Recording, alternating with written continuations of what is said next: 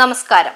തൃശൂരിലേക്ക് മാറ്റിയത് തോൽപ്പിക്കാനാണെന്ന സംശയിക്കേണ്ട സാഹചര്യമാണിപ്പോഴുള്ളതെന്ന് മുതിർന്ന കോൺഗ്രസ് നേതാവ് കെ മുരളീധരൻ. ഒരു സ്വകാര്യ ചാനലിന് നൽകിയ അഭിമുഖത്തിലാണ് മുരളീധരന്റെ തുറന്നുപറച്ചിൽ. പാലക്കാട് ഉപതിരഞ്ഞെടുപ്പ് സ്ഥാനാർത്ഥി നിർണയവുമായി ബന്ധപ്പെട്ട് താൻ അപമാനിതനാണെന്ന് അദ്ദേഹം തുറന്നടിച്ചു. സ്ഥാനാർത്ഥി നിർണയത്തിൽ തന്നോട് ഒരു വാക്കുപോലും ചോദിച്ചില്ലെന്നും മുരളീധരൻ പറഞ്ഞു. ഞാൻ മത്സരിക്കണമെന്ന ആഗ്രഹമുള്ളതിനാലാണ് Palakkad D C C K P സിക്ക് കത്ത് നൽകിയത്. മനസ്സിൽ ചെറുപ്പമുള്ളവർക്കും മത്സരിക്കാമെന്ന് ഒരു നേതാവ് അഭിപ്രായപ്പെട്ടിരുന്നു. ഇതറിഞ്ഞ പ്രമുഖ നേതാവ് അദ്ദേഹത്തെ വിളിച്ചു.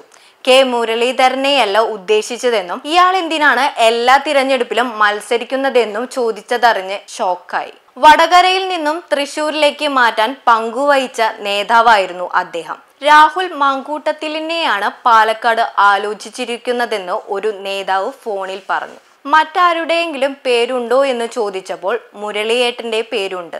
എന്നാൽ മത്സരിക്കേണ്ട എന്നതാണ് അഭിപ്രായമെന്നും ആ നേതാവ് പറഞ്ഞു. എങ്കിൽ നിങ്ങൾ തീരുമാനിച്ചോളൂ എന്ന് പറഞ്ഞ് ഫോൺ വെച്ചു.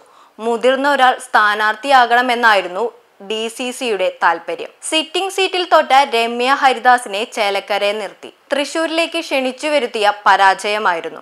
രാഷ്ട്രീയത്തിൽ ഒറ്റുകർ പതിവാണ്. കോൺഗ്രസിൽ പ്രത്യേകിച്ചും. തൃശൂരിലേക്ക് മാറ്റിയത് തോൽപ്പിക്കാനാണെന്ന സംശയിക്കേണ്ട സാഹചര്യമാണിപ്പോൾ. നെറ്റിപ്പട്ടം കിട്ടിയ ഗജവീരൻ എന്ന് വിശേഷിപ്പിച്ച് മത്സരത്തിന് നിർബന്ധിച്ചവരാണിപ്പോൾ എല്ലാ തിരഞ്ഞെടുപ്പിലും മത്സരിക്കുന്നയാളാണെന്ന് ആക്ഷേപിക്കുന്നത്. തീരുമാനങ്ങൾ പലതും പത്രങ്ങളിലൂടെയാണ് അറിയുന്നത്. നോമിനി രാഷ്ട്രീയം ശരിയല്ല. വട്ടിയൂർക്കാവിൽ രാജിവെച്ചപ്പോൾ നോമിനിയെ നിർദ്ദേശിച്ചിട്ടുമില്ല. കോന്നി വിട്ട അടൂർ പ്രകാശിന്റെ നോമിനിക്ക് സീറ്റ് നൽകിയില്ല. രാഹുൽ മാങ്കൂട്ടത്തിൽ ഷാഫി പറമ്പിലിന്റെ നോമിനിയാണെന്ന് ആദ്യം പറഞ്ഞത് കെ സുധാകരനാണ്. അത് ശരിയായിരിക്കുമെന്നാണ് താൻ പറഞ്ഞത് കെ മുരളീധരൻ പറഞ്ഞു. മുഖ്യമന്ത്രി സ്ഥാനം ആഗ്രഹിക്കാതിരിക്കാൻ മഹാത്മാഗാന്ധിയല്ല. എന്നാൽ കിട്ടാത്ത കാര്യം ആഗ്രഹിച്ച് കുപ്പായം ഇട്ടിട്ട് കാര്യമില്ല. യു ഡി എഫിന് അധികാരം കിട്ടിയാൽ ചിലപ്പോൾ ഒരു മന്ത്രിയായേക്കാം. രാസവളം കീടനാശിനി മന്ത്രിയാകുന്നതിലും നല്ലത് മാറി നിന്ന് കാണുന്നതാണ്. കെ. കരുണാകരന്റെ കുടുംബത്തെക്കുറിച്ച് രാഹുൽ മാങ്കൂട്ടത്തിൽ നടത്തിയ പരാമർശത്തിൽ ഇപ്പോൾ അഭിപ്രായം പറയുന്നില്ല എന്നും അദ്ദേഹം പറഞ്ഞു. News desk Bharatabhoomi.